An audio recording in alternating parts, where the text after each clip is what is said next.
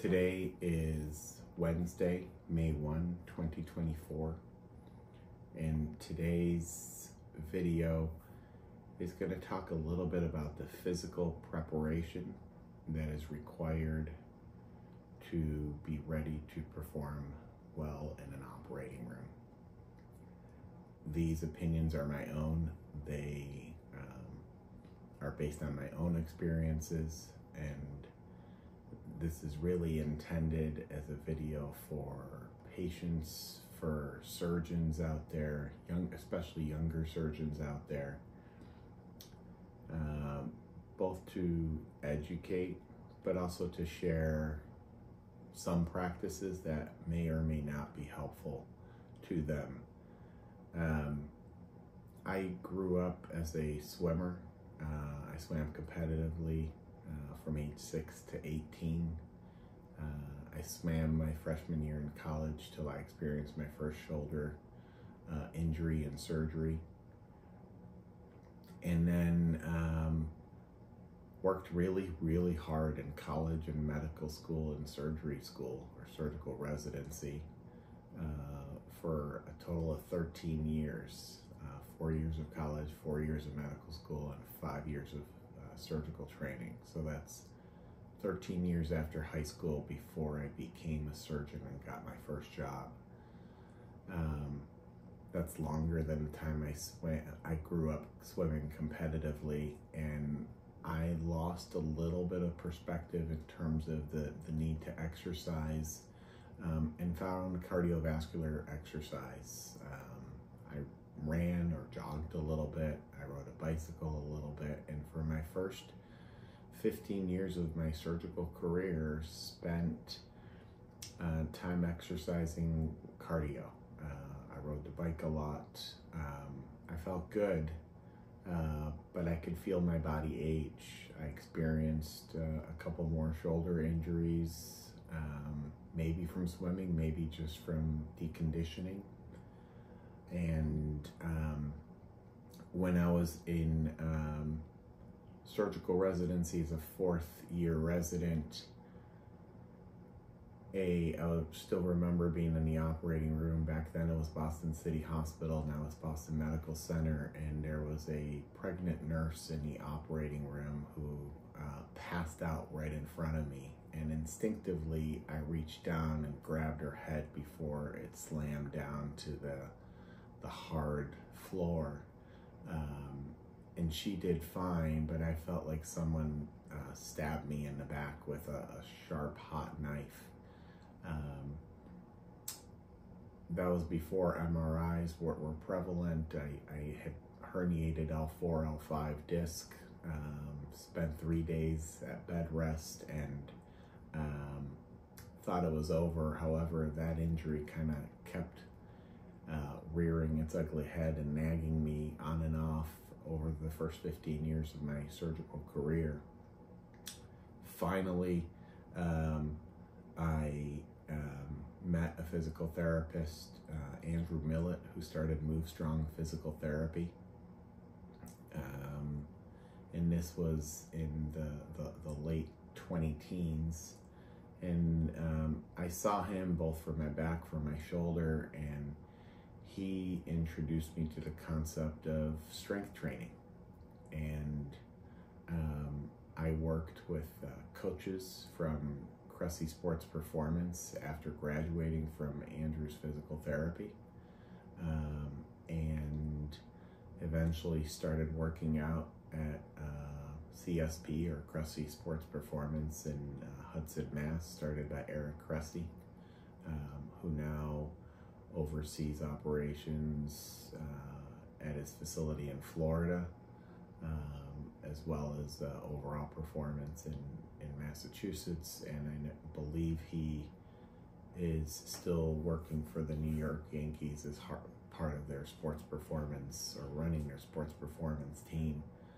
Um, the unique thing that I learned um, over the last five years is that at least for me, strength training is a little bit like brushing teeth. Um, it's a non-negotiable. It's a little bit like sleep. It's non-negotiable. If I get it five, four times a week, um, I am able to feel younger. I have more energy. I have more strength than anything I do. I can pick up new hobbies and new activities without really worrying about am I going to get injured. But more importantly for my career, um, I have more physical endurance in the operating room. I have more energy. I have not had back pain in the operating room in years.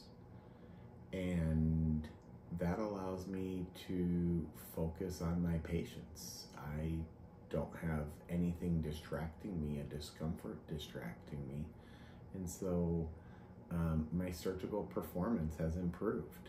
Um, of course, it's been five years of four times a week strength training.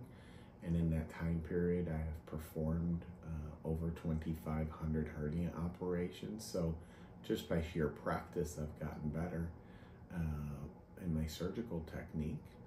Um, and it's partly because I've had a coach uh, at my side. One of our two physician assistants assists me in almost every surgery. I've had another surgeon, my partner, Dr. Fullington, um, who assists me on surgery on occasion. We learn from one another. And so, um, you know, this concept of, of coaching in the operating room works just like any other physical or mental activity. If you have a coach, you get better.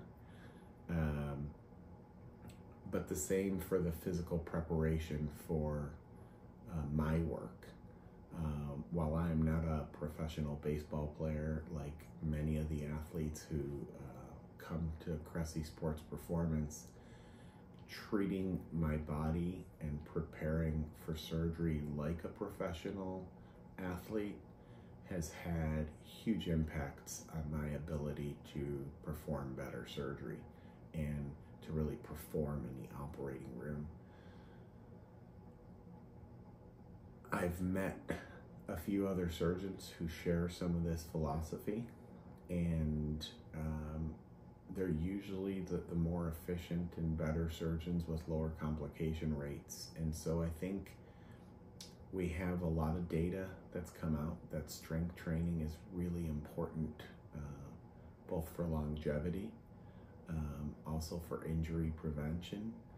Um, of course, cardio is important as well, but I think that uh, strength training is a really missing component um, when we teach our students, our surgical residents, our fellow doctors of what they need to do to take care of their bodies. And um, I wanted to make this video um, specifically um, to try to get the word out.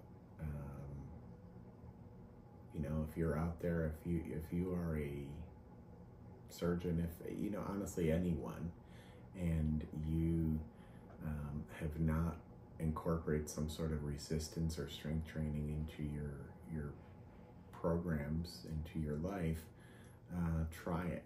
Um, I think you'll feel better.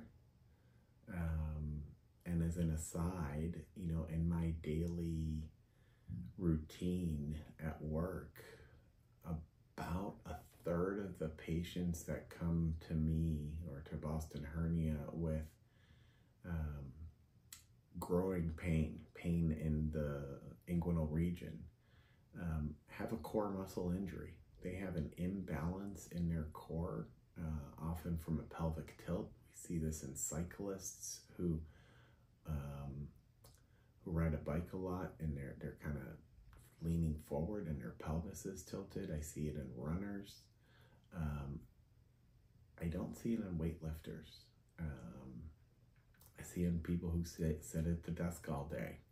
Um, a lot of us kind of navigate through life working in a single direction or a single plane. We walk forward, we run forward, we ride our bike forward, you row in one direction.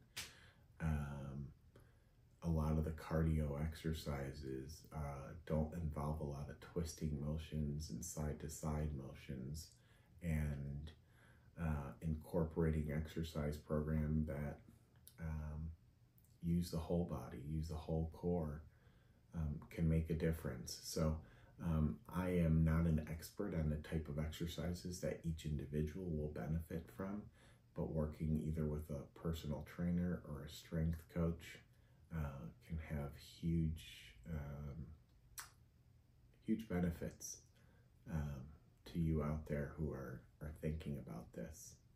Um, so thank you for listening this far. I know it's a long video. It's a lot of information, uh, but I've always wanted to share that uh, how much work I put into getting ready to perform in the operating room. It's not just about the surgical training, the mental training, reading textbooks, reading journal articles. Um, I train physically by lifting heavy weights to prepare for surgery.